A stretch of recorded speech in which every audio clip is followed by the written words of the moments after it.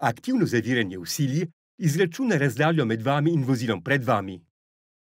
V primeru nevarnosti čelnega trčenja se na instrumentni plošči pojavijo vizualna in zvočna opozorila.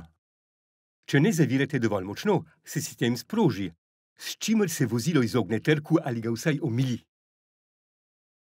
Sistem lahko izklopite prek večfunkcijskega zaslona. In se samodejno vklopi ob naslednjem zagonu motorja.